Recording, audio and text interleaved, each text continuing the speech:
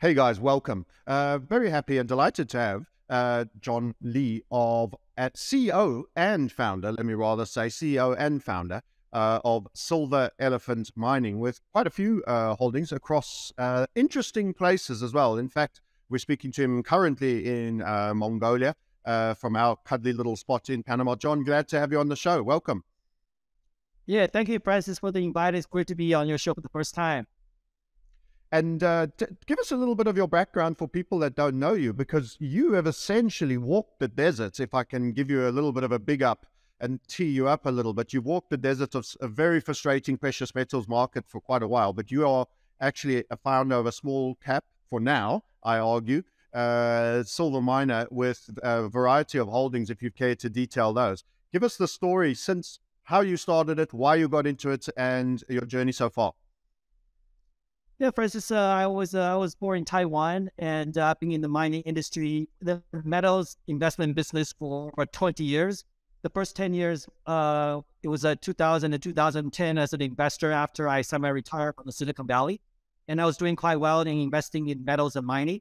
And, uh, you know, caught the bottom of the gold market, $250 when Gordon, Gordon Brown dumped that last batch of gold. Brown bottom. Kind of the silver market when the silver was $3.50 back in 2004 and then uh, the financial crisis came in uh, 2010. I started uh, a, a, junior mining company as, as a hobby and uh, think of just a hobby. And, and, and 13 years later, turning into a 13 year uh, double, double full time job, raised over $150 million through the Toronto Ventures Exchange. I'm an avid traveler and uh, economist, a chartered financial analyst, traveled over 40 countries, lived in three different continents. So always been very fascinated. Uh, my passion is always just be arbitraging the market like you are, but now added this dimension from from from the mining side as well. Right. Only someone with the work ethic of a Taiwanese would take up uh, a, a, hobby of starting a mining company. I have to say, uh, I love that. By the way, uh, and I'm not surprised that sucked you in hands, knees, and elbows in the end. Uh, and now you've walked you've walked this entire desert. It's become the, the hobby of a lifetime. But uh, seminal week, I'm going to argue, for the metals markets that we've just had. Uh, starting possibly with the last few days of last week, we we actually got kind of hypey, and we were we were even using the chat AI GPT to do those sort of somewhat baity headlines in our YouTubes to say this is a key moment that is potentially coming technically, macro technically. And I understand you, you're a man isn't shy of the charts. You had a look yourself. I'm interested to hear your views if you see this sudden breakout out of that continuation for gold, which invariably leads before silver, which probably leads before the miners, which is why maybe you haven't yet got the love you deserve and other miners, but that that could be coming on the way. What's your take about is it a big week that we've just had? Well, Francis, uh, you can look at the, the analysis from short term, you know, the, the, in terms of weeks or medium term in certain six, 12 months, or the long term, which is a decade long, a decade long sort of a scenario. Uh, I think in short, this breakout is is long being anticipated. I was on a couple of shows last year, uh, in October, calling about it the gold for around 16, 1700 and silver at about $17. And uh, this year, you know, in the last year, I pegged gold at, to take out 2000 and silver to, to take out 30. I think we're uh, very early. We're so all these objectives looking to be met. Gold already, but silver soon to follow. We talked about the gold to silver ratio uh, I do believe that this this is going to be the year 2023. Uh, right now, I think specifically to answer your question, the dollar, the dollar. I think you know there's a lot of fundamental news that are out in the market. People are talking about the BRICS and uh, the uh, China uh, Russia alliance is out in the open, and the dollar index had a, a, a double digit correction, percentage correction from what 114 now trading at 101. So it is at that fairly strong trend line of, of support, and the gold is teetering on uh, breaking out an all-time high. So, you know, now if you're a trader, Francis, uh, it's you know it would be good to take maybe some some chips off the table because you're you're at a at a dollar support and you're at a, a very heavy gold resistance. But fundamentally speaking, I do expect gold to break out uh, over 2,000 and um, in, in, in, in uh, sort of embarking on a $2,400 minimum, and silver breaking out 30, uh, taking on $50. Now the question is, is, is the market going to sort of revert back to selling main walk away? and, and waiting for a September seasonality rally, or it's going to just carry on, steamroll through, um, you know, past 2000 and, and, and onto the unknown. I, I don't have the crystal ball, but however, you know, if you look at the 10, if you look at the yields, which is sort of, which is sort of a direction, telling you direction of the dollar, I mean, the yield is also had a, had a big fallback. Uh, my personal view of the, of the yield is, is embarking on a multi-year bull market, which means the treasury is in a, in a, in a major bear market because if you look at the yield, it's a 30 year breakout. Yeah. Which means that I think the yield right now is only taking a small breather. I, I don't think the Fed is maybe taking a pause, but you're not looking at any sort of quantitative easing on the horizon. So then what that means is maybe some of that news on the on the dollar bear or a lot of that already be factoring into the market. So I would not be surprised to see maybe a bit of consolidation for gold and a bit of a rally in the dollar from here. But it's not a high confidence call because you never want to sort of bet against the bull market being smart, right? However, we're we're near that major resistance for gold and major sort of a, a, a good support line for uh, for the dollar prices. Yes, I, I, think that's a good summary. I do feel that this we, we were very early. We were in 2020, the back end of 2020 of August. We were the first and only analysts that we saw that had said the bond market 40 year bull had turned. Now I, my, I'm of the view that that's everybody's opinion.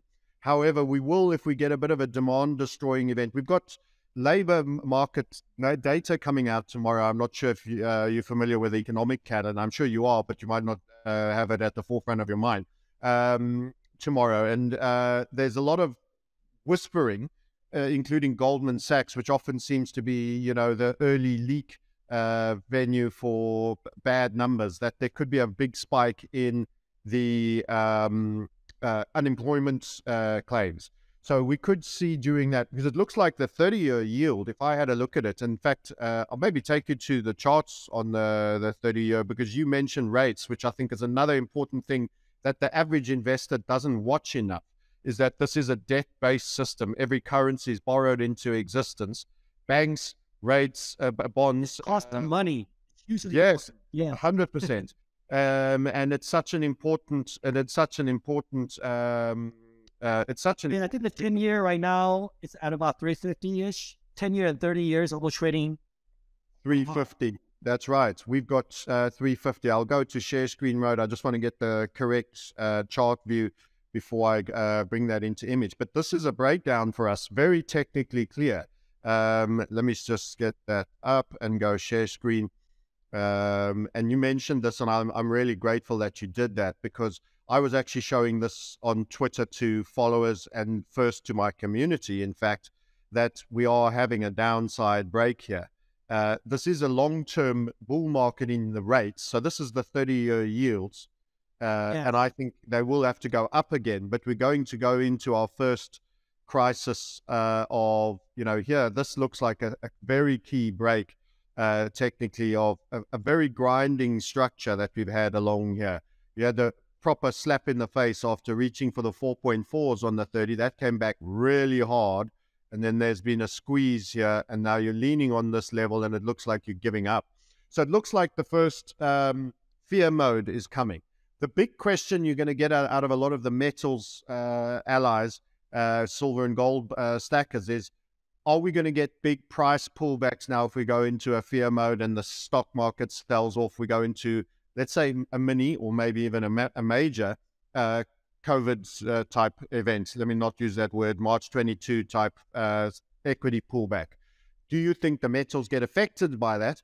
Or will it be like that event in March 2020 where they get a, a, temporary spiky effect down and it almost comes back super quick whilst oil itself was smashing to zero and metals continue on on their bull run? So are we is there a possibility we get a similar type price behavior? Or could they even go just direct to continuing to make their moves up, even in a very contractual environment on the basis that people will even further abandon their dollars for precious metals? What's your scenario for if this 30 year continues to bleed down? Yeah, you know what, uh, for instance, on that chart, if you can click on all and see just how the yield has behaved since 1980, I think now yes. that would be I don't know if you can see if you can. Uh, yes, uh, I will bring you more data in. This is the secular reversal you're referring to. Um, Absolutely. yeah. You can see that the yield actually broke out in 2000, early 2009, about 2019. And, yeah. and it was just somewhat put back, the genie was somewhat put back in the bottle. yeah. And now you have a emphatic breakout on the yield since 1980. It's very clear and plain to see. So from, from this chart, uh, Francis, I don't see a lot of downside on the 30 year. And then if you if you were to gauge the market and watch the CNBC and the typical bond manager, I think there's a lot of uh, still a lot of the uh, there's still a lot of the uh, people that are uh, that that are um, that are behind the market. I think we're in a secular uh, bear market for Treasury, and this chart speaks for for that. So there may be a, a bit of a, and then I mean it's quite unprecedented when you see 30, 30 this is 30 year. You went from what uh, sub 2% now to trading We're at clip 4%. It's already doubled in, in the, within a year and a half. So it's quite natural to see a bit of consolidation for yields. But you can also see very strong support at the 3% range. I think it's probably right. the slowest it fall, which means the downside of, of, of the downside of the yields or the upside of the treasury is really quite limited. And then fundamentally also support that thesis, you've got what over two trillions of a treasure sitting in China, Saudi Arabia, Japan, and and and and all those people. I, I think they could get out of the treasury if they could in a hurry without much collateral damage. They'd be quite happy to do that. So would so have around well, equity that laundry market yields. Now translating to the equity market, if you look at equity, I think the bottom is in. You can paint a lot of a bear bearish uh, pictures from employment, from CPI. Whereas I don't read a lot into those data points like you mentioned because I mean, for instance, recalling the days when I mean these these numbers are a lot of this all made up. Like I was just a bit of a sort of smothered when when when when the same pundits were were were claiming that the CPI was heavily managed, they don't they're not accurate. As soon as CPI goes the way that's that they want to see, then they're almost you know bracing us as a Bible.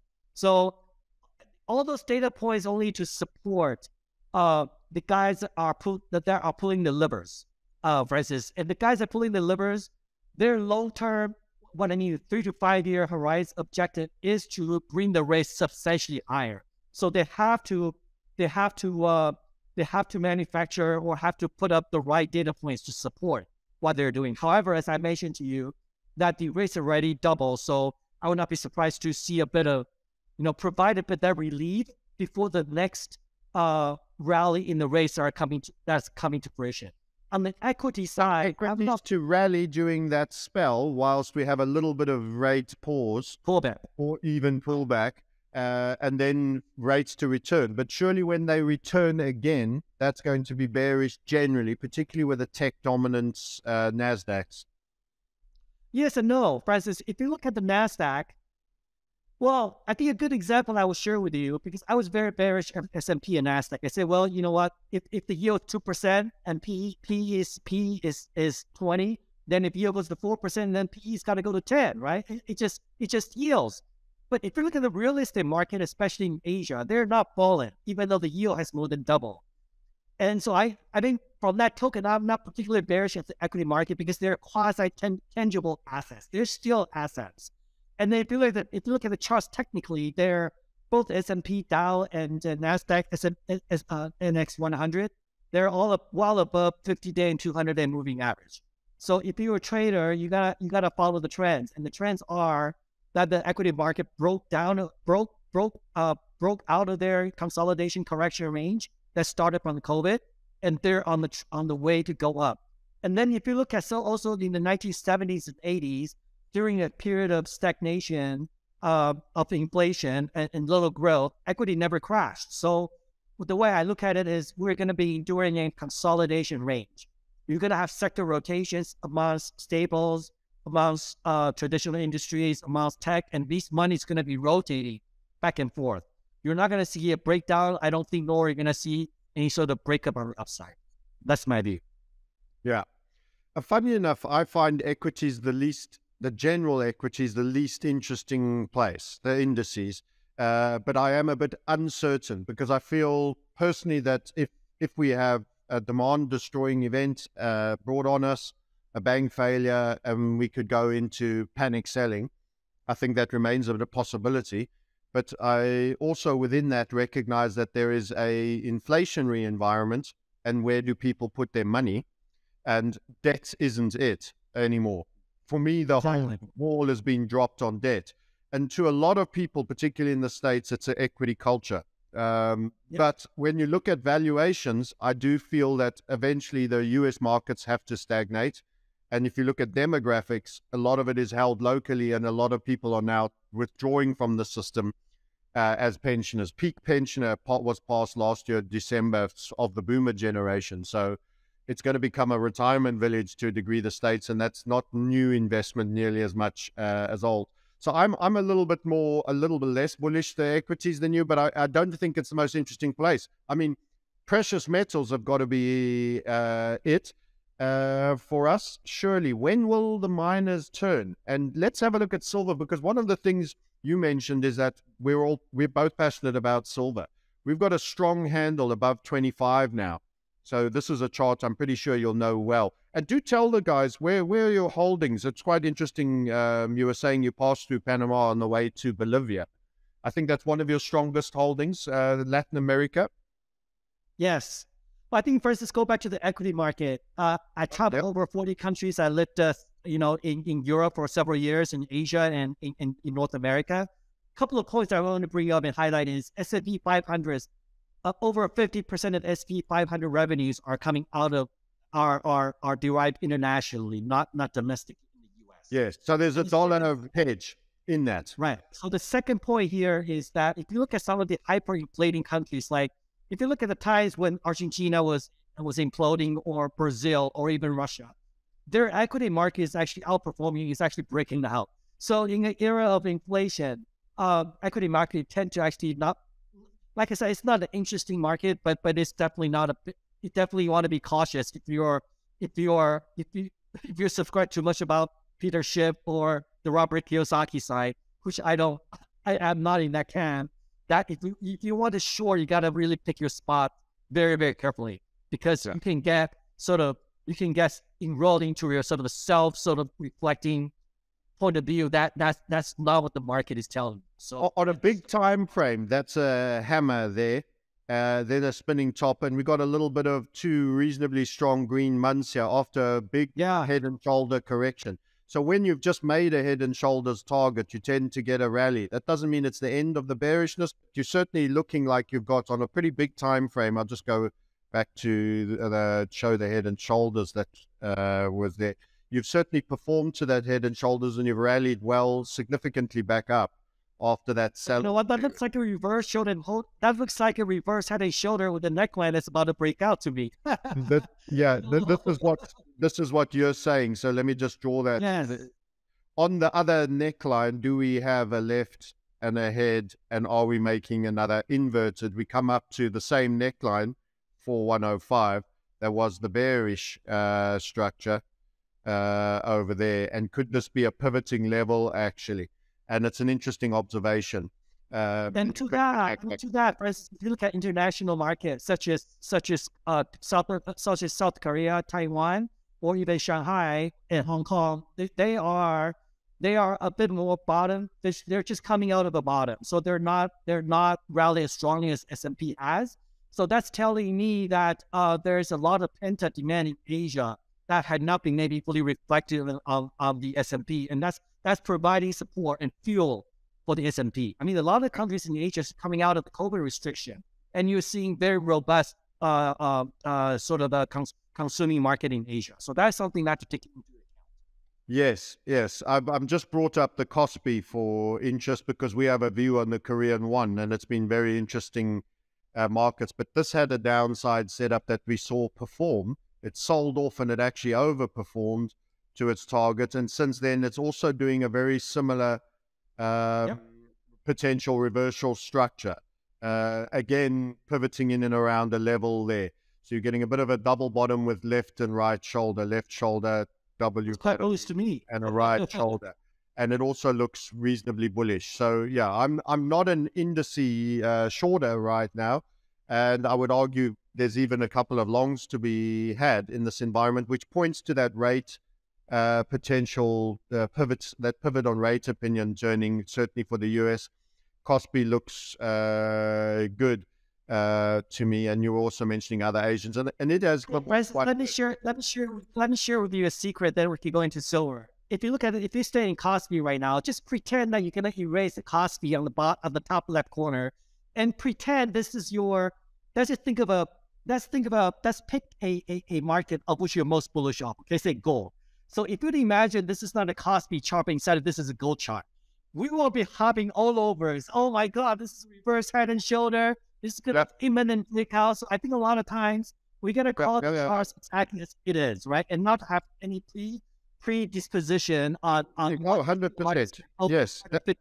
Tying to the corner. Yeah. That's a that's very scientific. You've got to remove you've got I like looking at charts before I know the name because exactly. then you don't have you don't have any bias. I'm not an inherent perma bear on indices. I think that's a that's a that's a journey to the poorhouse, uh, if ever you want one. Um, and I actually see silver. Yeah, let's go to silver because that's uh, where we're going to have our metals uh, friends are going to be really happy to have someone with real experience in managing a silver mine um, and their their views. So this one already has quite a lot of draws on it. Um, and we're seeing this very impulsive move. We've got this capping descending line here, which seems to en- encapsulate the pause period because it was quite a lengthy pause. It was a bit of a, for many new metals uh, buyers, they were really bummed out by that. So, you know, especially if you're from the crypto markets where, you know, when moon type category, they've been really walking a desert over here. We had an inverted head and shoulder again. We seem to be talking about those a lot made the target there, then pulled back to the neckline, and now we're spitting up.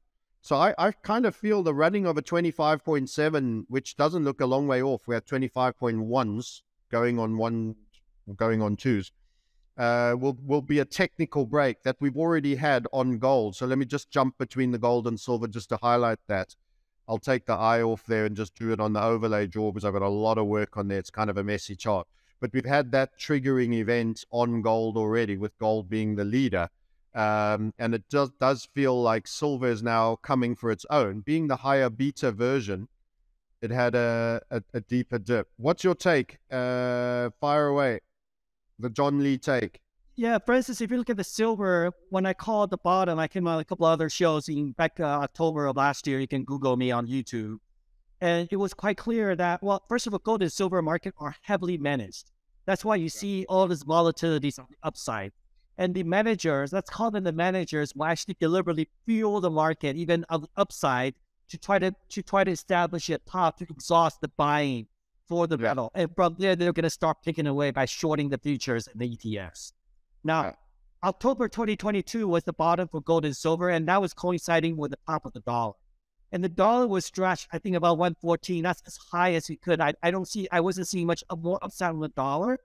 And and that's why I was calling the bottom for gold. But subsequently, if you look at the short term, the next, I would say four to six weeks, uh, they're hitting the resistance level, right? Uh, gold is hitting the all-time high resistance.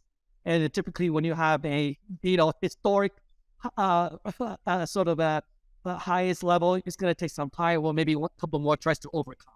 And the silver is it's laggard to gold and it is sitting at that $25 congestion level. It has not hit over 30 yet. And uh, I think right now it's maybe a type of caution. I would not be surprised to see a bit of a pullback, a pullback and a bit of a rally for the dollar. And the dollar is at about 101. So it's, it's at the bottom of that trading band between 100 to 110. So I would not be surprised to see a little bit of, of, of, of, of the rally on the dollar and subsequently put a pullback on gold and silver. But that is a low confidence call, Francis because yeah. we are in a very fundamentally strong metals market.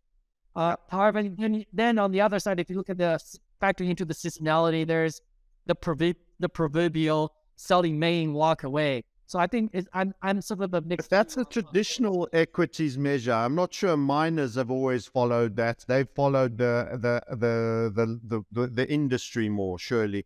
The sell in May and go away is a disinterest. It's northern hemisphere taking summer basically uh, because of they they were all, all off during August and they start to wind back down.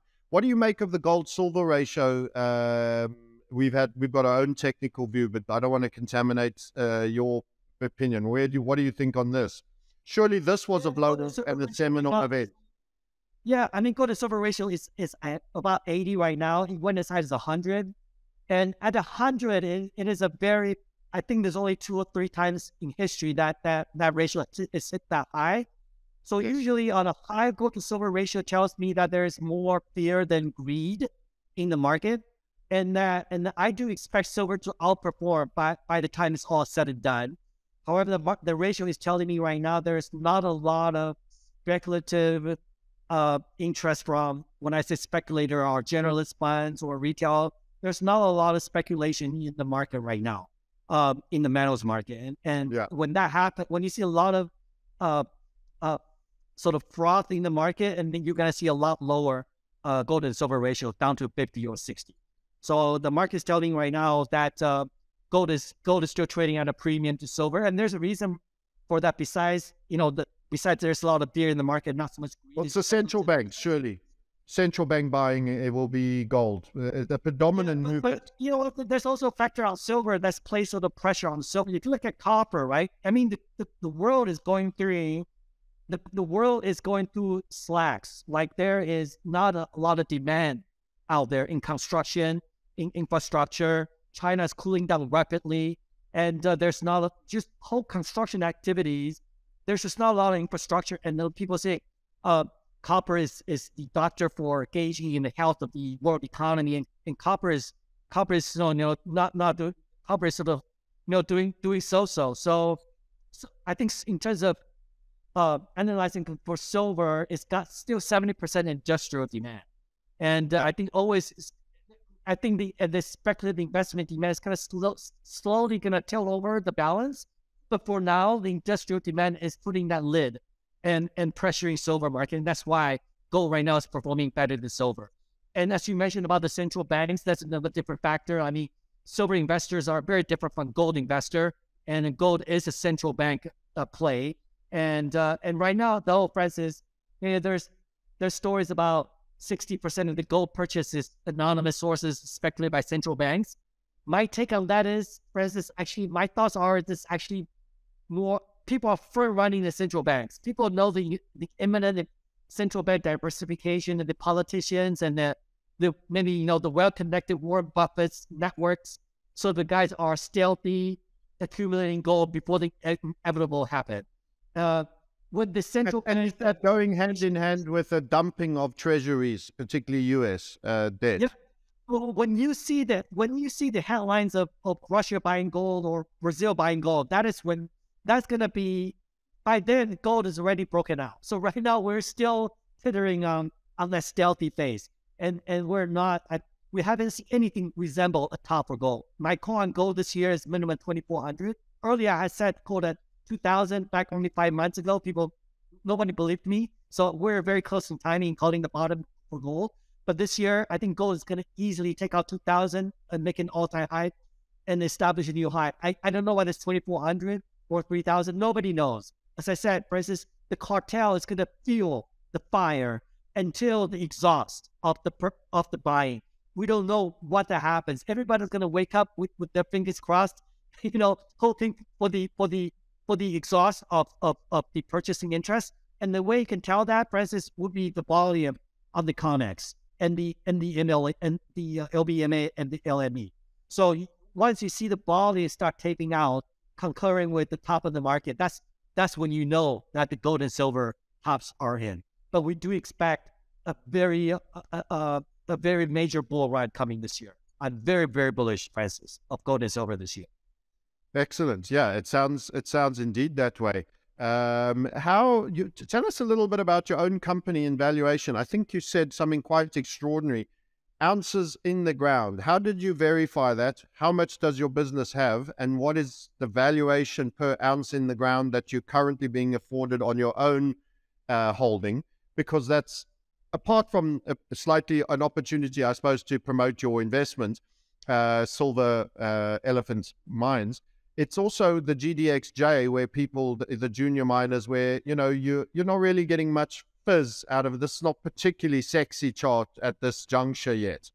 But if if some of the things that you mentioned come to fruition and you start to get 45s on silver and 2,500s, we actually see uh, the doorstep of three grand. We see two nine in 18 months um, and maybe sooner.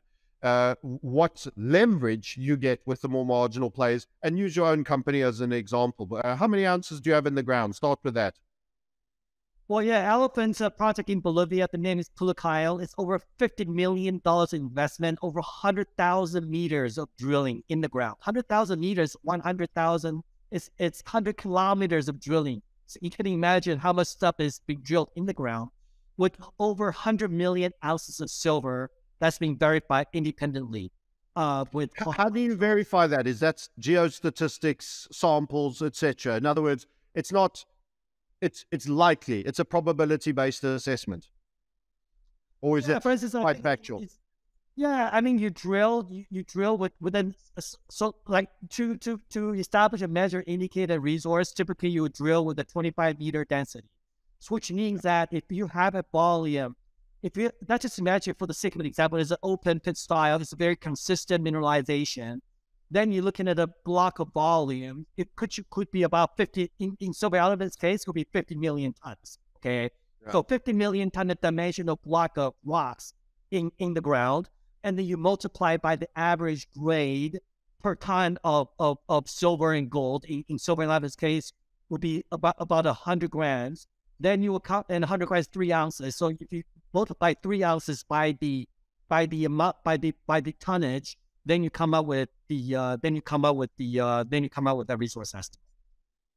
Okay, and uh, another analogy, a hundred million.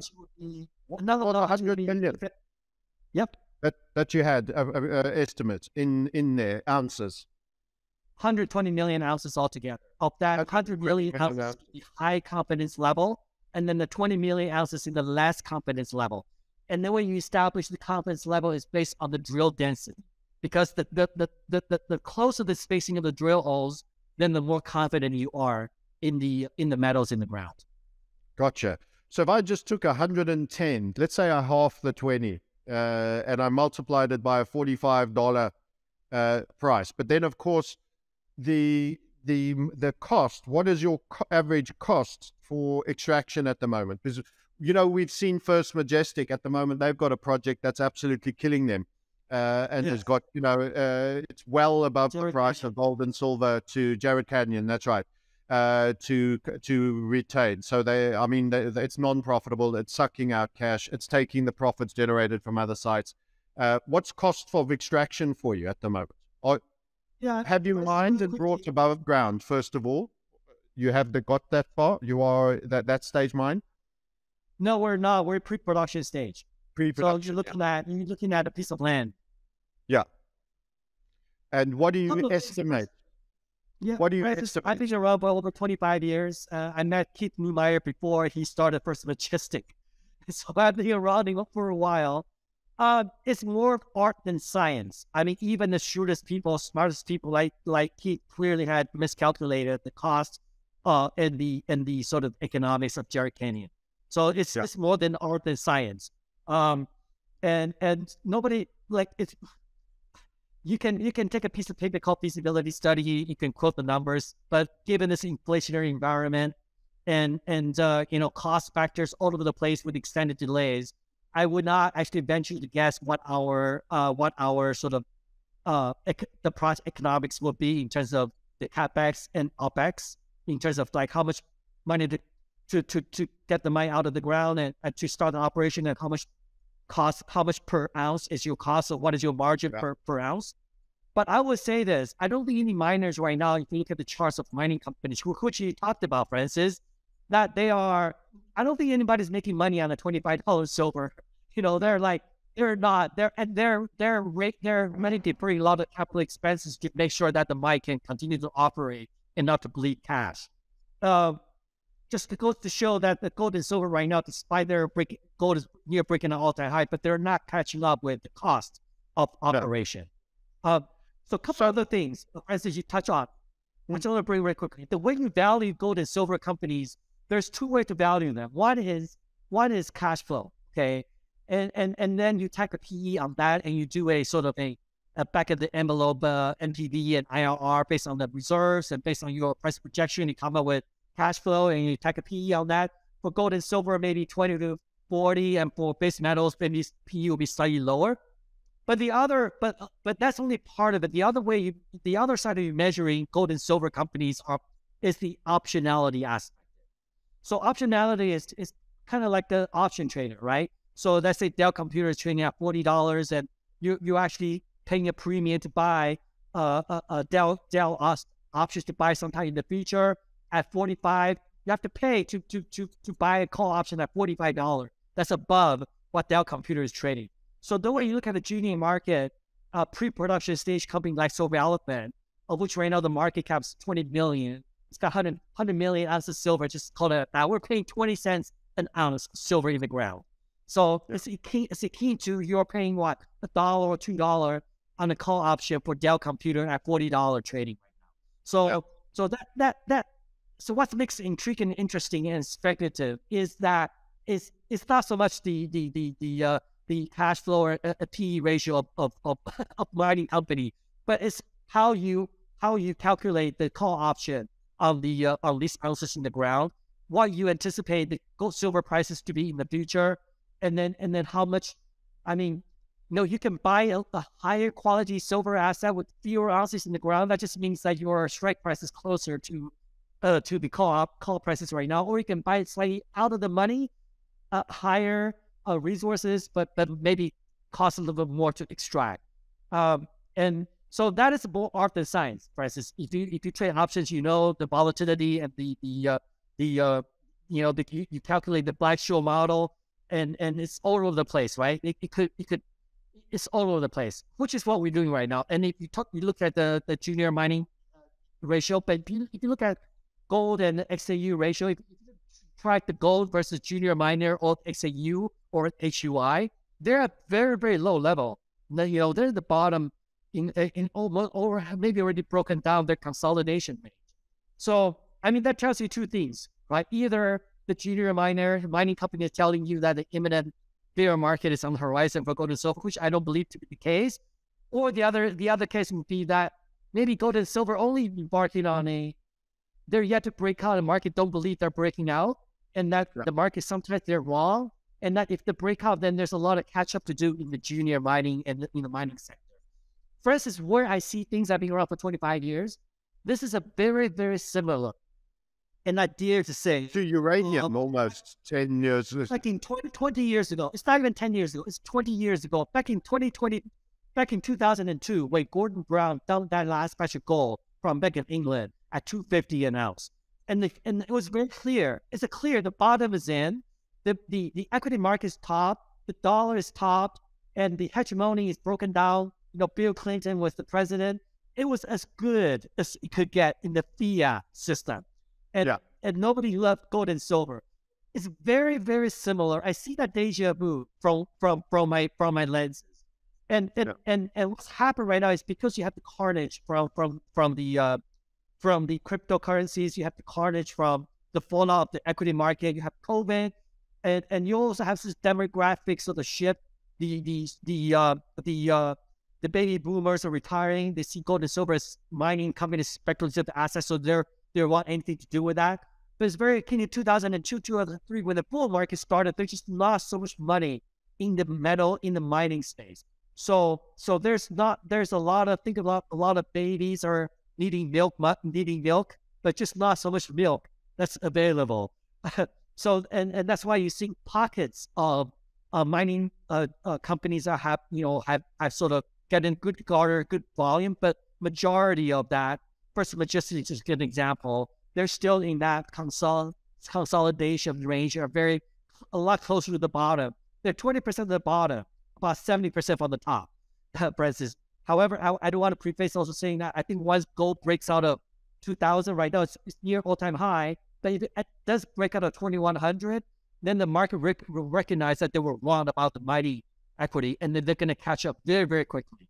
And the the interesting thing is, all the junior, all the mining companies in the world is after from Microsoft. So you're you're you're going to see a lot of buying happen through a very small thin straw. and you're going to see some very spectac- spectacular performance on the mining sector, just like it was in 2004, 2005, when silver staged a rally from, I remember 450 to $15 in a hurry, like in less than 18 months. You can see something very similar in replay. It's very low-winded answer, Francis. Yeah, no, but it does. Uh, I can see it in a sense that even while the metals are getting their recognition, miners in many cases have forward sold future production at pre, uh, you know, lower levels. The market is fatigued uh, with equities in the mining space more than they are with the metal, even though they can see the fiat system failure uh, and they're happy to hold gold. They're not yet ready to deal with these companies that have burnt their hands so many times yep. that have seen these hyperinflationary costs climb up uh, in the form of the industrial metals like copper and other things, uh, energy that mines consume uh, really aggressively. And in actual fact, it seems it seems almost like your project should remain. I don't want to say mothballed. It's not mothballed, but non-production until such time as you start to have some real price discovery on the underlying uh, metal in the ground, um, and then you can. And so, for instance, what what what we're doing now is is it's it's a bit of a cliche, but de-risk de-risk the project. So what I mean by that is we will maintain an excellent local community relationship. We are advancing in near completion of all of our permitting process to make sure the project is what I call the shovel ready and then when we capture the silver market, which is 20% from the top, right now we're 20% from the bottom, but when silver price is 20% from the top, I would say that we're not venturing into any sort of production discussion until at least $30 silver. Because yeah. uh, I think to put a mine into production with this price volatility, with all the uncertainties of, of, of construction delays and all that mobility, labor, work stoppage, you know, health mandates, it'll be suicidal to do that. And unfortunately for us, is exactly what happened in the last 18 months. You're seeing a number of juniors that had gone into uh, that that didn't survive onto the other side because they were busy commissioning golden and you know their their project and you got a couple of downswings in the silver price down to sixteen dollar. They registered a couple of quarter of losses, and then you know they're breached their covenants. Their debtors come calling, and that's the end of the story. Unfortunately. There's uh, several of those that went on. Yeah. And you have to avoid that false start. And being such a volatile underlying, even to gold, which has got some volatility, it's it's even more dangerous. You need to get deeper into the black zone in price to allow for much higher percentage leverage pullbacks in these demand destroying events uh, and these ups and downs. But at the same time, if you get it right, surely that should be uh, the lottery ticket for your great great grandkids, uh, even never mind enough wealth to see you to a comfortable retirement.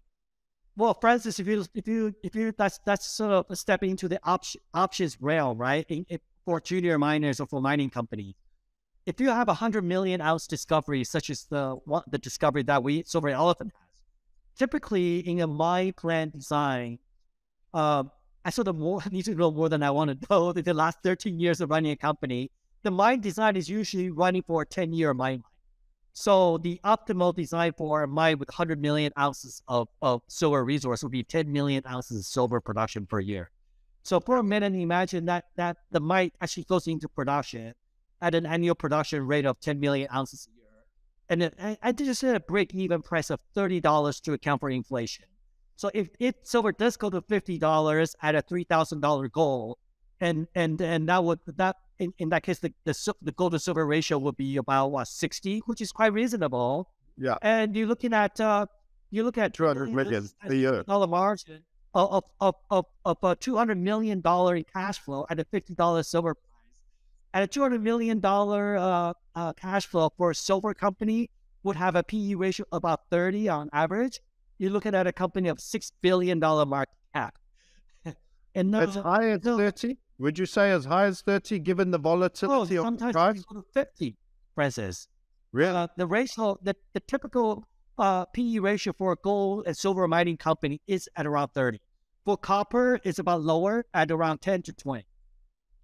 Why is why is it such a high uh, P ratio? I thought uh, I'm, uh, this is I'm learning here, so forgive me uh, for lack of knowledge. Then, But uh, I, have always considered, you know, that if the S&P was at an average of 30, it's way it's overpriced uh, at PE. Why would metals be different and higher in valuation?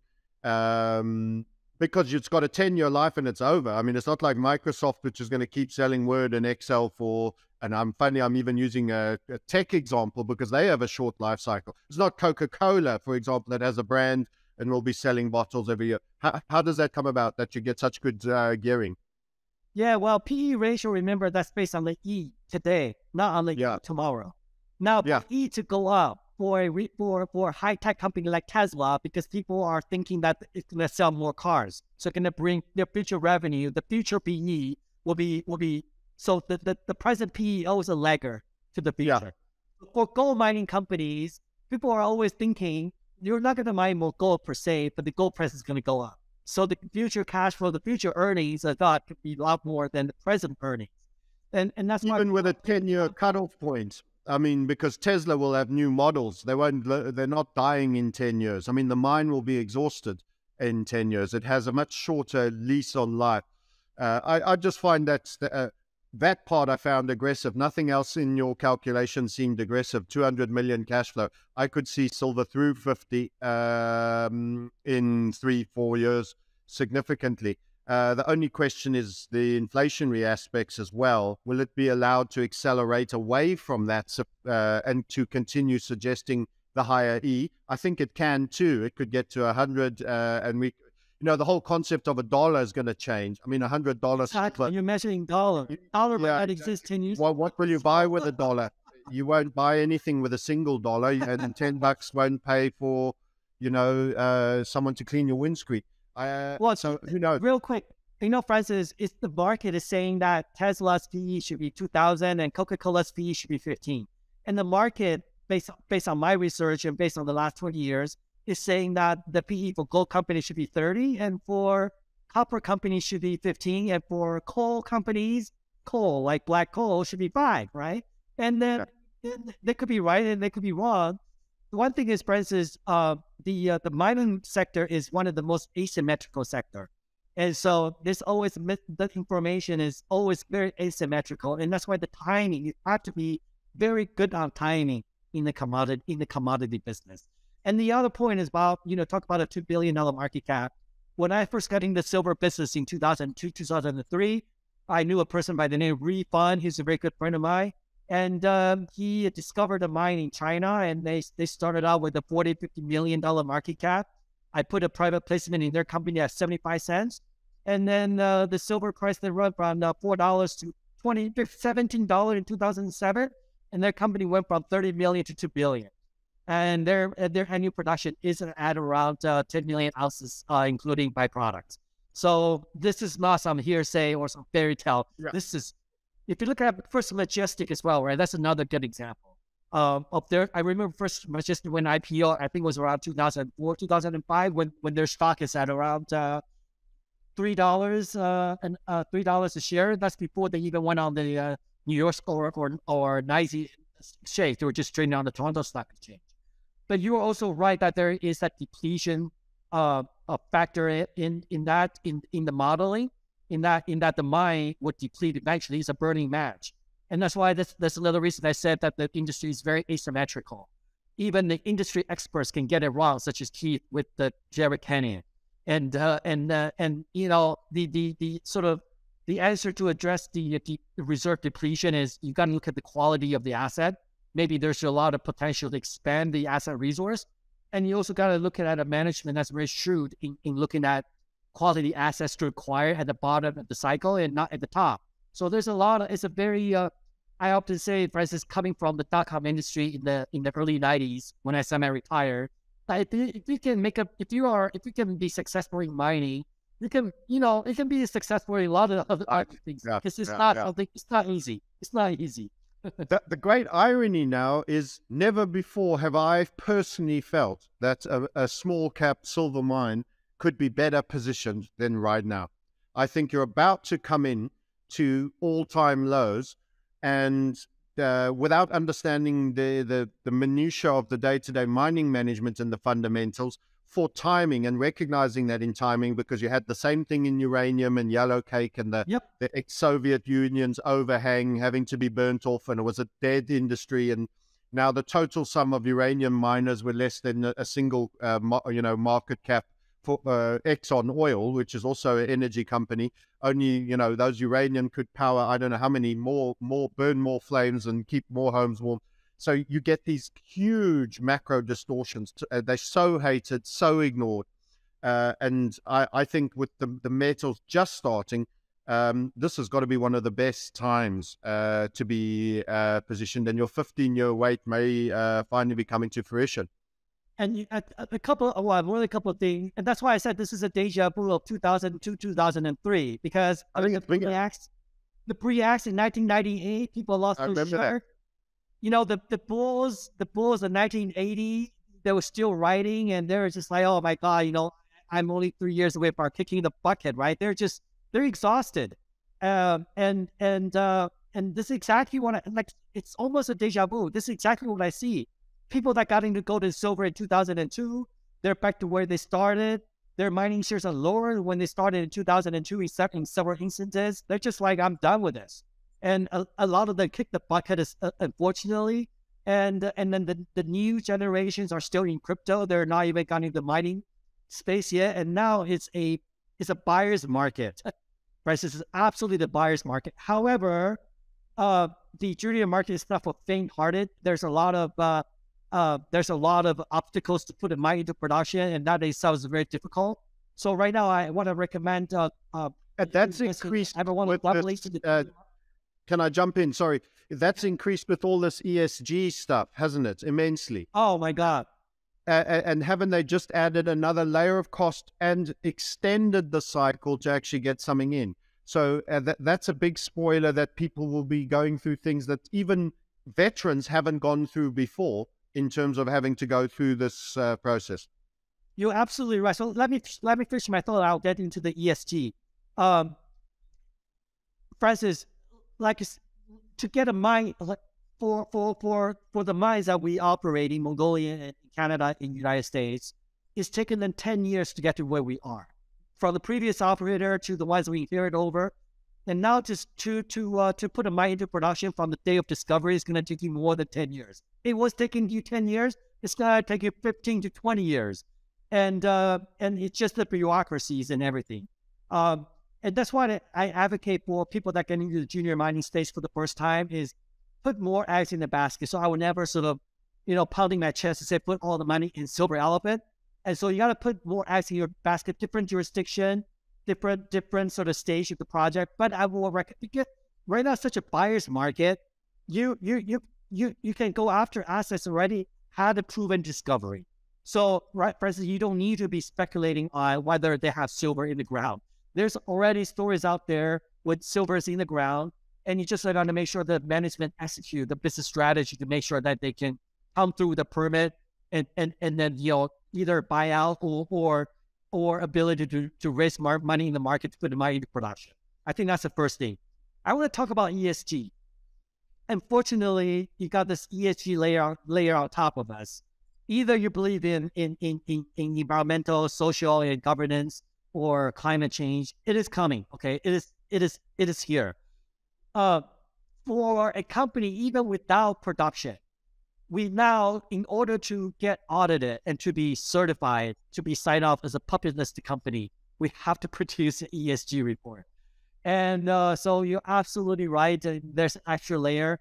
And even in the auditing industry, in the audit, in sort of being a public listed company, the uh, government is uh, is uh, is uh, tightening the, the industry. So there's government auditor, um, the auditor itself, which means that there's fewer partners that can be assigned to a mining to to to audit. So I think overall, for instance, what I see is a very clear trend of of of of, of cost of doing business going up, uh, amongst other things, which is only going to exacerbate inflation as it's coming downstream. And I was going to just add that whilst that's a downside, it increases the lag time to bring new production online. So this price, when it does run, could run a lot further because you've got all these built-in obstacles for the pri- price normally fix supply issues. But when you add further buffers of obstacles to be covered uh, and all these additional bottlenecks, it means you need a, a, much larger price and you almost need a complete bottleneck emergency where the, the ESG guys are eventually told, if you don't wave this through, forget about your battery car, forget about your battery thing. You need to start dropping these obstacles. You need to start giving some permits. Um, and you get to this backlash, uh, ESG. And we've already had a little bit of that against wind farms, how ineffective they are, killing birds, da da da da, burning up in flames, etc. So it's kind of almost that we'll need to have this reality check. And in the meantime, price just really rockets so that by the time you do get going, it's just cream and honey.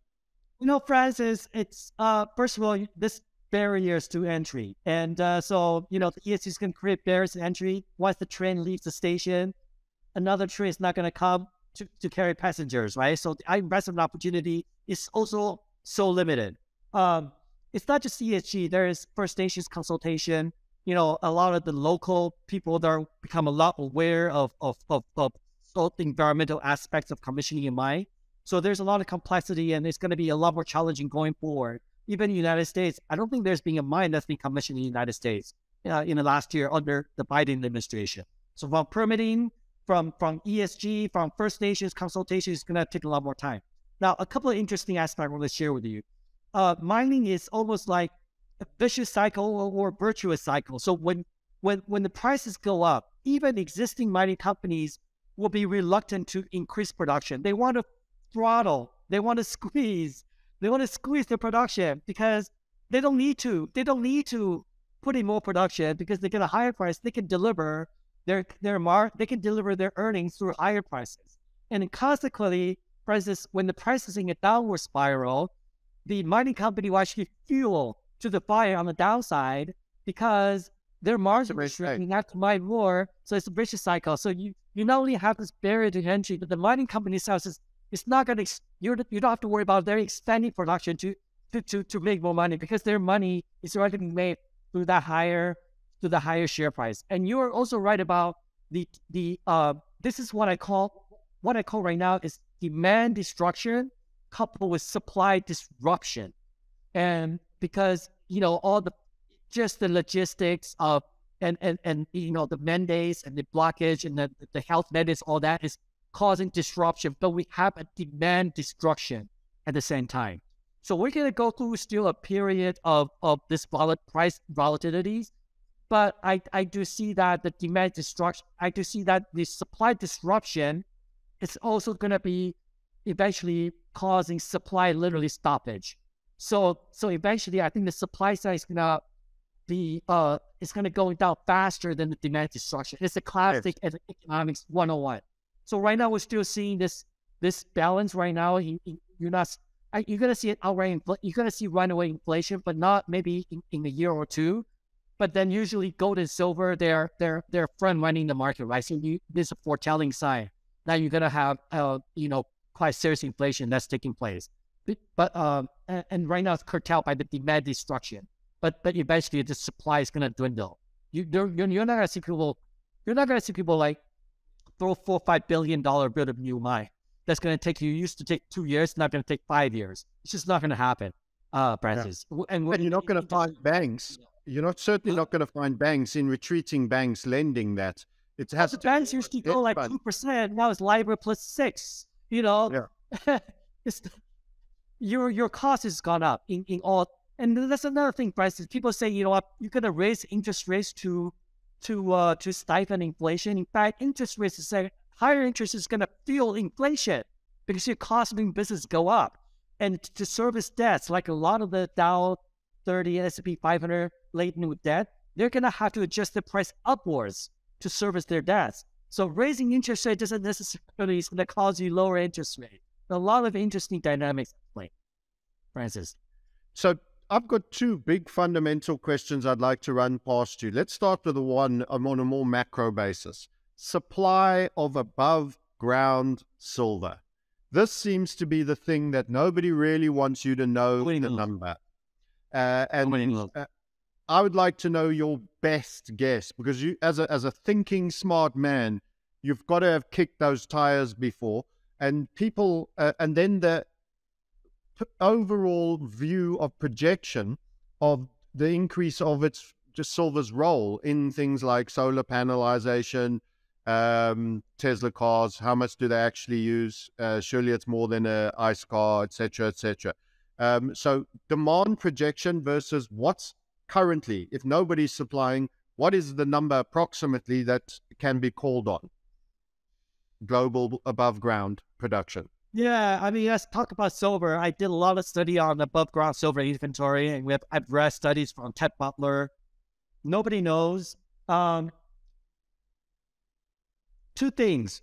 I, I think first, people that, for instance, it's my belief, well, gold and silver is money. Okay, the real people know. So it's my belief that gold and silver prices are suppressed and and through various means and the people that are the back end people are are are, are the trucks show up at the refineries 60 my belief is 60 70 percent of gold is well not on silver because it's industrial but it's about gold and to some extent silver. People are buying on, a truckload. There's no intention to exchange for fiat you know like we talk about the future of the dollar. So even if we know a number of say silver and gold I don't. I there may. I don't think there may not be actually a, so a stock to flow. So some of it's going to be held. The market. They're yeah, not going to come out in the market, right? Yeah. So I think that's the first thing we got to establish. I think there are some generational players out there, and they they own they own probably in excess of fifty percent of all the gold in the world, and yeah. they, their their their wealth is not measured in dollars. They control the printing press. They're in fact, for instance, instructing the J.P. Morgans and Goldman Sachs to short the market, printing papers, so, so that, that, they can buy more. Yeah. To back them on the refineries to accumulate. So I think just because there's X amount of silver above ground doesn't mean that it's going to come to the market. They're not speculating. Yeah. So let's talk no. about available potentially to be purchased for fiat to be used in manufacturing, industrial. Well, you know, you talk about scrape silver and etc. I will give you, I'll give you sort of an interesting point.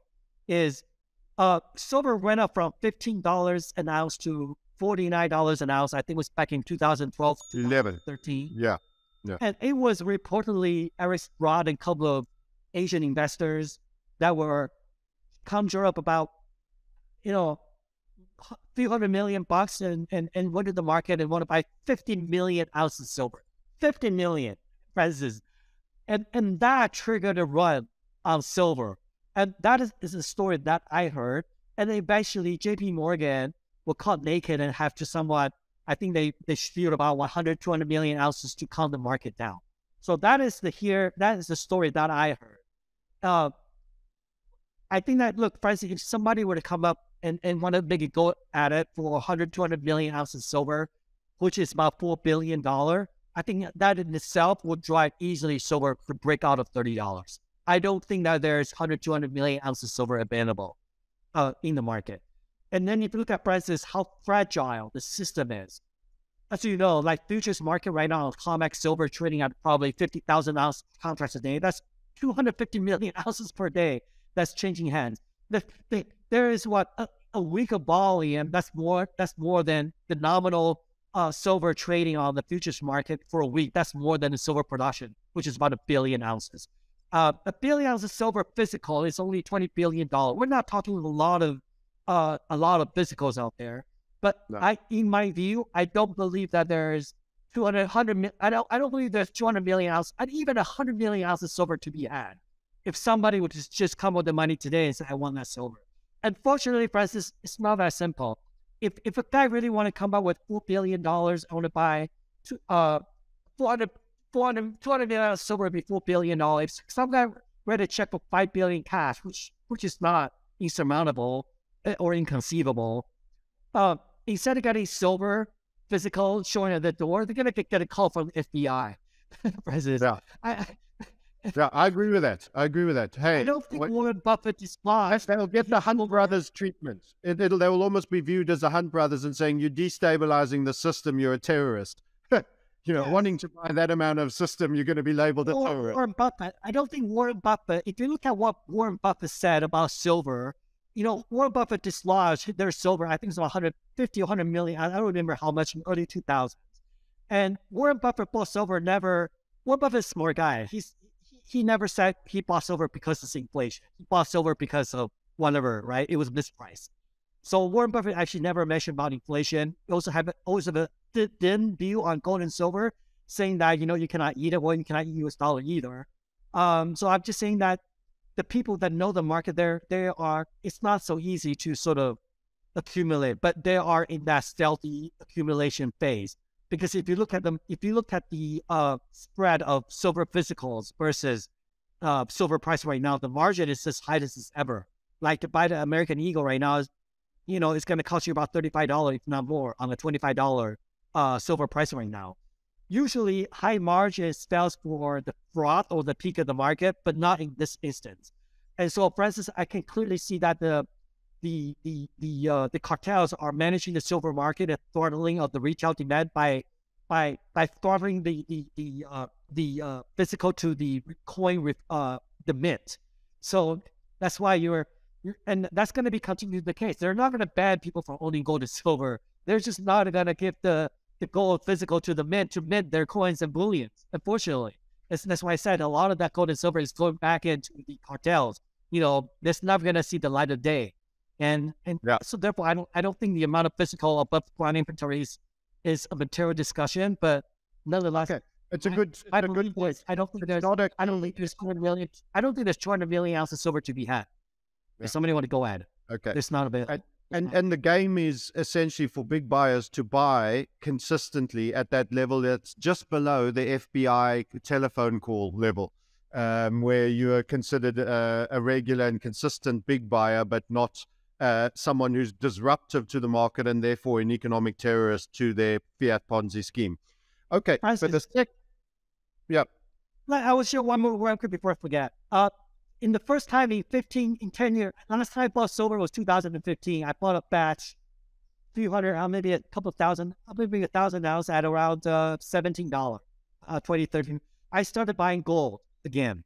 Uh, and uh, just uh, last month I bought uh, 30 ounces, uh, $60,000, which is which amounts to that many, 30 coins. Um, the reason is this, prices. If you look at what happened to nickel, I highly recommend, guys. The LME, nickel doesn't trade on COMEX, it trades on LME. Or CF, it doesn't trade on CME, it trades on LME. Yeah. And nickel went from 10 to $50 in March within a week in 2000, just a year ago. I, we have a nickel project in Manitoba. That's why I watch nickel very closely. we're also very bull market on nickel. LME is under a multi-billion dollar lawsuit right now because they cancel. Francis, hear me out. They, can, they cancel billions of dollars of trades at nickel over $50. They reset the trades to 30, which is the day, the prior day closing. Nickel went up 350 in like two hours. And they cancel the trades. They, they, they settle the trades at 30, not 50, at 30. Okay and then they they square everybody at 30 and they call it a day and and why because the lme is owned by hong kong stock exchange which is controlled by the chinese government and the biggest guy short is the chinese tycoon with ties to the chinese government and so you replace the chinese with jp morgan and and rep- and then you and then you you basically replace nickel by silver and yeah. and francis there you have it. It's silver. And they, they had the they had the narrative of uh, bags of stones that they thought was inventory, weren't the bag the bags of rocks story? Trafigura, there there's now people are discovering how tight the nickel market is. So I think the the takeaway here, Francis, is that silver could stage identical replay. Like you don't know how tight it is until it fucking excuse me until it breaks out. And that magic marker is 30, for instance. So why silver goes to 30? Can it go to 50 in like two days? Entirely possible. When things get out, out of hand, it's just going to go completely out of hand. And there's no recourse or there's no rem- remedy.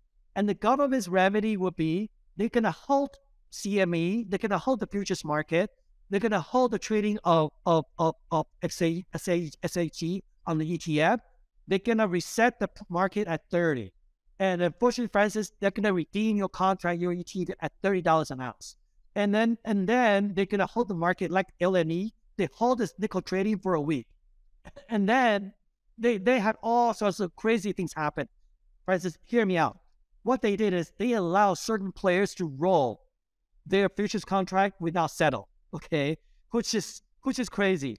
And then they they and then then you can you can then you can uh you cannot you cannot short you cannot long. There's all slew of new rules that come. Literally, literally the the nickel market, the LME nickel is is is is done.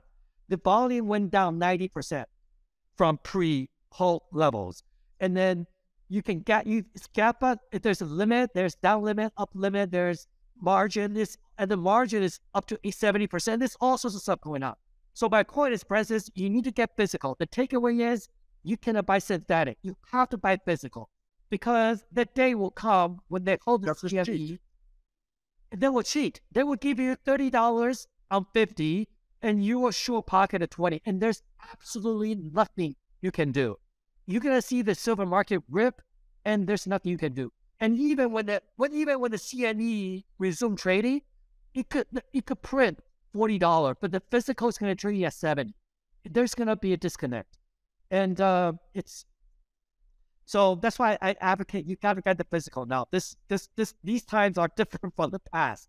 This is this is the this paper trading thing is going to blow up, and nickel and that nickel trading is is shocking of the in, in terms of the measures that they took to suppress the nickel market. It's it's astounding. And, and just out of interest, corporations that need nickel are probably now doing bilateral direct trade agreements with mines because that volume's gone on the exchange. It's almost as if the exchange is no longer deemed a viable source for purchases. How are people getting nickel supply now? If the ninety, if the volume has fallen ninety percent, because this is a proven to be a scam. For instance, it shocks me. It really shocks me on how oblivious and how almost obtuse the industries are. and let me explain that to you. Only, you see that's so obvious, right? Writing on the wall. However, only the only Elon Musk is doing exactly what you're saying. Elon Musk is going to Vale, which is the which is the one of the largest uh, uh, nickel producer in the world, and then also went to Indonesia government, which is the largest nickel source in the world today, going directly after uh, nickel supply. Unfortunately, uh, right now the nickel market is sort of roughly balanced. It hasn't really tilted the balance in like the silver market, even though the writing is on the wall. Because EV, even though EVs are selling like crazy, but but the EV demand is going to continue to accelerate in the future, just like silver physical demand is going to accelerate in the future. Very naively, for instance, unfortunately, I talked to over seven major auto manufacturers in the world. They're the top 10, okay? they're they're so oblivious of what's happening, and and and and when or are they just co-opted into the same cartel? You will support our exchange. Will not go out of the the the circle we've drawn for you. Exactly. You know what they're doing in response. In response, and this is coming from Ford or from GM. So I am not giving when when interviewed as to whether they have enough nickel for their future vision of EV, which is going to quintuple, whatever it is, they say, no problem. You know, we, we've been assured by our battery suppliers that there's not going to be a problem. And if you ask the battery suppliers, the battery suppliers, oh, we have been assured by the Glencores and by the Trafiguras that there will be ample supply. I mean, and then and then the Trafigura and Glencore, what's happening now? They're discovering their their their feet has got bags of sands, and then it's it's it's hundreds of million dollar multi it's, it's seven hundred million dollar fraud. Trafigura nickel. They've been defrauded upwards of seven hundred million. So I think everybody is still putting a pillow under the base. They're not seeing anything inevitable that's happened. And I'm quite shocked that that given what's happened in 2022 with what happened to nickel LME, that they're still not woken up yet. They're still they're still like you know, very nonchalant about about what. But I get the impression that the CEOs of Toyota, Ford, etc., that are at the Bilderberg Group will be saying, "Don't you worry your little head about that their problem. We'll ha- we have that sorted." And and of course the Glencores, which is very deeply into the cartel, as you'll know, with all the stories, etc. They'll be saying, "Yes, don't you worry. Uh, you know, supply side, leave that to us." but we could, in fact, be we in loggerheads where it's not about chips for cars. It'll soon be about base metals that won't even be available. It will not be available. It's going to be a head-on collision. It's no question about that, Francis. And, and I think let me let me sort of back roll a bit. Let me retract a bit. I mean, these auto manufacturers they have a lot of moving parts, right? To put a car in place, you have what copper, nickel, and uh, and uh, tires, and uh, you know seat belts and the airbags. So nickel used to be a small element of it, and that's, I I just don't think that they haven't paid the attention to the potential head-on collision, the imminent collision. But I think they're catching up quickly, and that's why they're approaching companies like us that has a pre-production stage project that's not going to come on stream with nickel for another five years, and yet they're talking to us, which means that they are they are starting their lipo is starting to catch on, but they are but they're they they need to go faster because I mean on, on the most conservative estimate by 2030, if EV is really going to have a 30 40 percent penetration. You're going to need double the amount of nickel, and right now the nickel supply is going down. It's not going up. Why? Exactly what you just said, right? ESG, permitting, local oppositions, right? Uh, it's all that. There's no new nickel coming out of the ground. So how is going to balance out well? A lot of substitution need to happen, just like silver in the panel. You're going to find more substitute for silver in industrial demand, just like they have to find substitute for nickel in so you know your your your the price of your fork and spoon is not going to be as looking as pretty as before. It used to be a level higher nickel content, and, and now it's everything as shiny and maybe a little rusty on your utensils.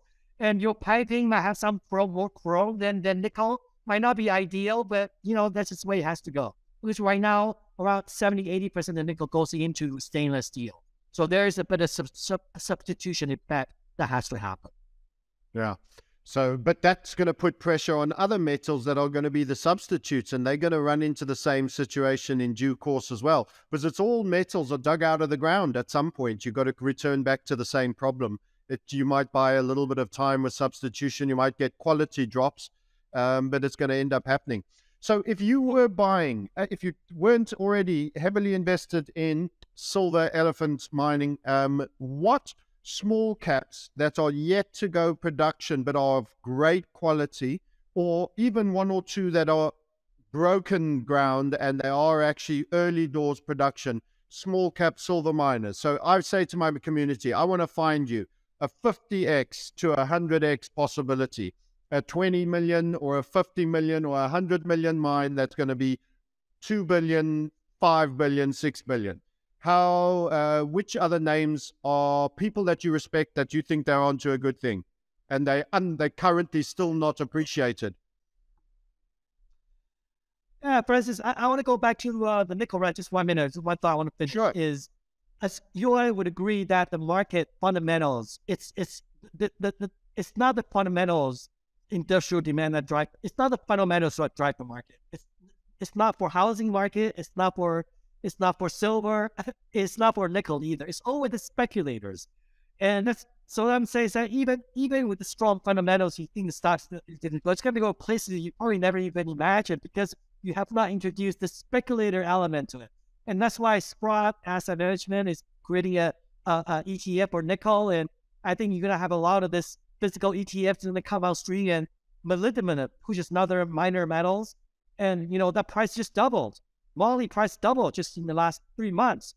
It's because all of a sudden that that uh, more people need moly than ever before. No, is there some mine disruption? No, just like oil, right? You were talking about oil. You know, like oil demand is always be 75 to 85 million barrels, but all of a sudden you draw or or added that 5 million barrels of demand, that could cause double or, or half of the oil price. So it's always this spec element that would dictate the and I, like I said again, I think it's only getting started. You, you're getting the smidges of, of action that could that could take place, like like nickel and see Moly and, and and when silver really got into it, my God, you know, right now it's very underpriced. Now talk about silver junior market. I will focus on. Uh, I've been around for 25 years, and many people, even industry insiders, call it wrong.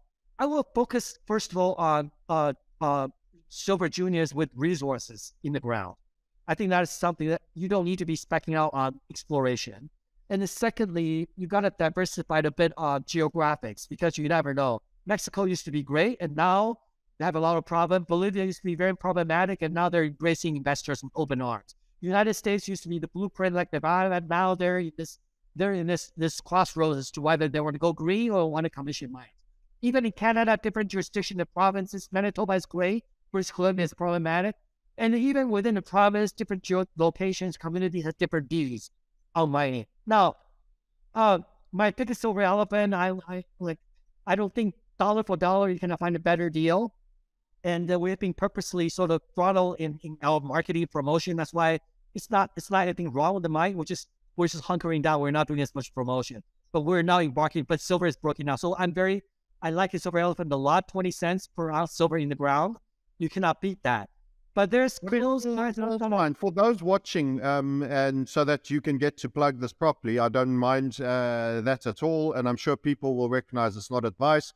Uh, what is your uh, code on the chart? Sorry, uh, Toronto Exchange. Your is your yes listing? on the Toronto main board. Uh, the symbol is E L E F. ELF. Yeah, okay, that's a good one. Okay, excellent, makes sense. ELF, and it's on Toronto Financial Corp. ELF Financial Corp.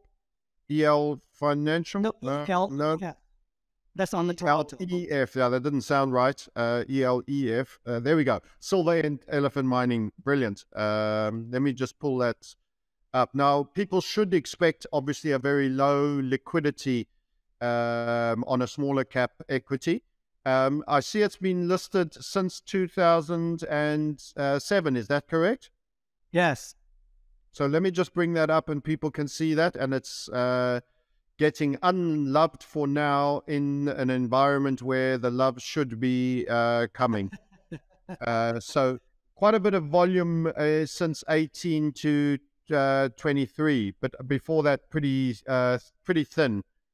Um, and this is ELEF, Silver Elephant Mining Corp. So market cap is just 20 million at the moment. Is that correct? Did I understand that correctly? Yeah, market right now is uh, 16 million. And Francis, we were we were most loved two years ago, and now we're the least loved. These things go in pendulums. And uh, I mean, when you talk about liquidity, I, I think you and I agree when the market is at the bottom, it's the least liquidity. And when the market is at the top, it's the most liquidity. And, yeah. you know, I remember when I was buying condo in Vancouver, in Vancouver Asian in year t- 2000, when nobody wants. So why would you buy a condo in Vancouver? There's nobody, there's no volume. You should buy something in Vegas. And that's year 2000. That's the top of Vegas. It was bottom for, for, for Vancouver housing market. Uh, yeah. in the, you know, in, in 2020, uh, in 2021, the company was trading uh, turnover every quarter. We were trading the entire flow. I mean, we're trading tens, we're trading you know, three, four million shares a day. I, I see the scale on the volume. So liquidity is not so much if we believe that the bull market is coming for silver, I would not be concerned about so much more liquidity because, instance, we have the goods, we have the silvers in the ground. So we're not as speculative as some exploration stories that's based on one or two drill holes, right? Uh, we have the silver in the ground.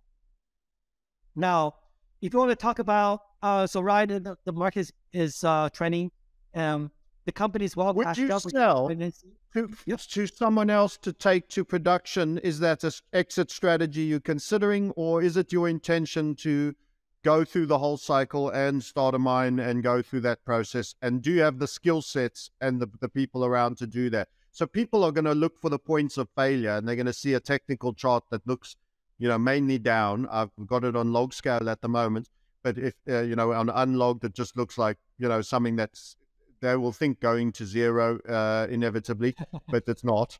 Um, it's just an unloved industry at the moment, and you're an unloved example that's a little bit micro cap. What, where's the points of failure? Do you have any known bad news that is an issue or that's going to be more problematic for you uh, that you should disclose at this point? For example, you got you're going to expecting a higher, uh, you know, cost of extraction because of X, Y, or Z, etc., etc or anything known? Right. Well, I think, for instance, our chart is not it's not uh, very different from other junior miners, including First Majestic. The, yeah. the, company just acquired the silver project in 2016. So if you look at only for silver, then you you got to really look at the price action starting from 2016. Uh, the company, the, the, the price broke down in 2022. There, oh, I first of all, let me say that there is no undisclosed material events uh, that that is sort of adversely affecting the stock. However, in 2022, there is a correction on the on the company, and part of that was that it was there was a spinoff, there was a corporate uh, transaction where the non-silver assets were spun out of Silver Elephant, such as the nickel project I, I talked about. So some okay. people were in Silver Elephant for nickel, so they were they were buying and uh, Silver Elephant to get the nickel uh, dividend shares. So I think there were some attrition from Silver Elephant base, and that's why the, share corrected uh, because once the nickel guys got their nickel shares and they no longer wanted Silver Elephant. So there's a bit of a correction in that. And unfortunately, also that, for instance, we caught in that down, down shaft, right? So like 2022 was was not friendly to the silver market. So I think from it's a combination the corporate event coupled with the driven down of the silver market. Uh, that that that sort of precipitated to what you see. However, you can also see that the price is bottom since middle 2020, since the middle of 2022. And uh, the nickel components get a separate listing, and could people look at that if they were interested in nickel, or was it privately sold off and there's no participation? No, so if you look at the uh, the nickel symbol is Flyn, F L Y N. The company's name is Flying Nickel, so F L Y N. Got you. So that that was then in that should have a 2000 and yes, I see the listing uh, also hit quite hard. Let's just go to a retail. we came out with a bang at a hundred million dollar market cap. We traded 10 million shares in March when we got listed. Um, There's your volume. So unfortunately, sometimes, Francis, um, that uh, people get caught up in the moment maybe the story is really got some legs to it and we exhaust the buying. So so it, at times, for instance, everybody came in and then uh, and then they bought what they wanted and then and then you know we had to, went through a harsh went through a harsh ride. However, you see 2023, you know, when the when the metals market bottoms, you can see quite clear that there's a there's a there's a volume in breaking out of that downshaft. So we expect uh, we expect the uh, Flying Nickel to be a very good proxy to the nickel market going forward. Uh, this yeah. this project has a billion pounds of nickel in the ground, eighty five thousand meters drilling, and uh, over forty million dollars of investment. Very similar theme to what you saw in Silver Elephant, because I mean, for instance, in hard but again, pre mine, pre pre mining, but proven reserves. Exactly. So, for instance, I cherry pick these assets. I'm an investor. I'm a CFA. I'm like you. I am a. I, I'm looking for. I, I I have a forecast on the metal and I look for an asset that that which can get me that leverage, right? If yeah. if my scenario to play out, which it did, because we bought the Silver Elephant bought the nickel mine for fifteen million dollar in 2021, and in 2022 nickel went to fifty dollars and we IPO'd at a hundred million dollar market cap. Unfortunately, Francis, I'm a, I am a CEO of a company. I didn't sell a single share. In fact, I doubled my uh, I doubled my holding at 60 cents. Never even imagined it would go to 10 or 13. And uh, so I, am not as nimble as you are, for instance, in my risk control. Uh, you know, uh, I, I don't know if I would have done much different. I think people are going to feel more encouraged to hear that you are still skin in the game and, in fact, advanced, uh, added to your skin in the game rather than just uh, were exit strategizing on the IPO. Um, I've had enough of investor banks that do super flaky, super high valuations and sell on the hype and are actually greatly reduced in the subsequent slump. So I think you you you're winning on the integrity stakes if you're not winning on the financial stakes just yet, and the long game is the long game. Well, uh, uh, Francis, I think just uh, uh, uh, uh, nickel in terms of leverage, right now nickel valuation is very similar to silver at around $16 million market cap at a billion pounds of, of nickel in the ground you are paying 16 cents per pound of nickel, and nickel right now is trading at ten dollars. So that is the that is the optionality that you're talking about. You you're paying 16 cents for for for a pound of nickel that's trading at uh uh uh that's trading at ten dollars. However, you know nickel is ten dollars a pound. It's not thirty dollars an ounce. It's going to cost you more money to get it out of the ground. So that is an optionality aspect. Now, first, I do want to address on the exit strategy. Um, I have been around for 13 years, and I've got you know during my lifetime, I've known quite a bit of industry insiders. We are built. We're essentially a world class management team. So we have specialists uh, that's that's uh, that understand environmental and permitting. You know, 30 year veteran, and that actually represented uh, governments and First Nations in permitting matters. And we also have a chief operating officer that is uh, a, a, a lifelong miner with Vale Inco, 30 year mining. You know, started with a foreman running a mine, become a general manager. So we are recruiting the pieces together that if the market is uh, conducive to to uh, to uh, for for, uh, uh, debt equity financing to build a mine, then then you know we we, we keep the option open. Uh, more important to the question, Francis, is about the timing of, of exit. I think that's actually more important as a trader, like you are. So I think often CEOs make a mistake. Is you know somebody paid thirty percent premium for my mine, so so I have to fulfill my fiduciary duty and sell, right? But you should be looking at not thirty percent premium to your share price, but you should be looking at the underlying metal, whether it's that metal is 20% of the bottom or has 20% on the top. I think that is a lot more important that the investor understand the yeah. that the CEO understands the macro view of the of yeah. the of, of, of the metal underlying that uh, metal. So from where I stand, and it could and my view could differ, but we're not gonna we're not looking to sort of exit nickel uh, or you know divest our asset probably until nickel is 30 to, 30 to 40 dollars which is three to four times from where we are. And for silver, yeah, we're gonna make a look at a run at the silver and depending on interest rate, where the dollar is, or if the dollar still exists. But I would I would say at the very minimum, if gold at three thousand, like you said, there's no reason not for silver to be at fifty. So so I, I don't see any corporate event until silver is at least fifty dollars. And then at that time, we prepared our data room we're going to invite all the strategics and, and the, the, banks and looking at all the options. And we're making sure that project is de- fully de-risked at that point so that the project can be shovel ready, that there are no impediments towards production at that time. Yeah. So get it oven ready, as you say, uh, in the meantime. John Lee, uh, Silver Elephant Mine, and of course also in the nickel business. We've just taken a look. It's been an absolute pleasure. We've spoken for a long time. We might have to split this into two parts.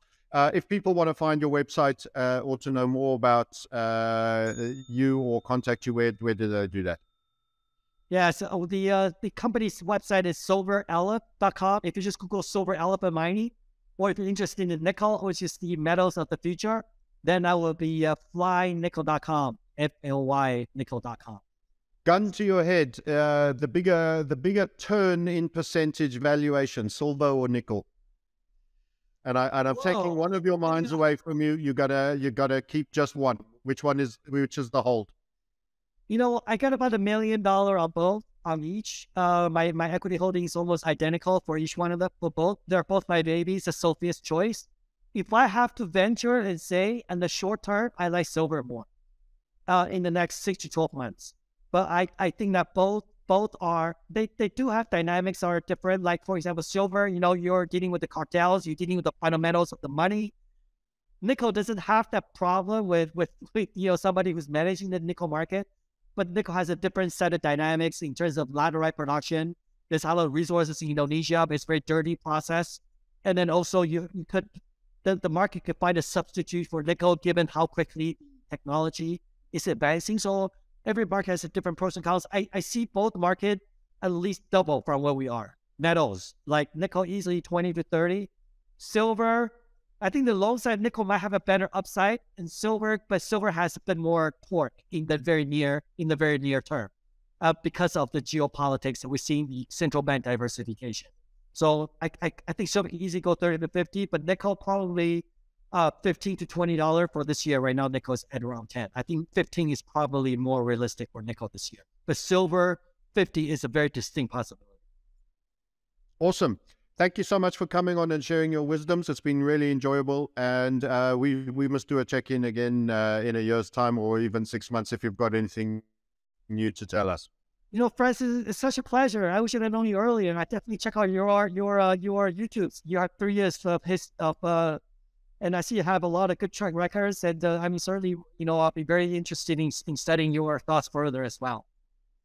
Yeah, that's great. That's very kind. Uh, we've had Rick Rule on, for example, uh, who's someone I'm sure you'll know who was big on the uranium. We've had some interesting guests. We're looking for more, much like your good self. Have a great day, and thank you very much, uh, John Lee. Have a great day. Thank you.